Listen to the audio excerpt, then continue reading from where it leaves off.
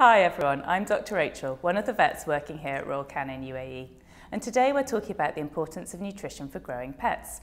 So what's the best thing to feed your puppy or kitten? Well, first of all, it's very important to remember that the nutritional needs of a growing puppy or kitten are very different to that of an adult dog or cat. They need extra energy for growth, a balanced level of calcium and phosphorus to support their rapidly growing skeleton, and other added nutrients for their immature immune systems.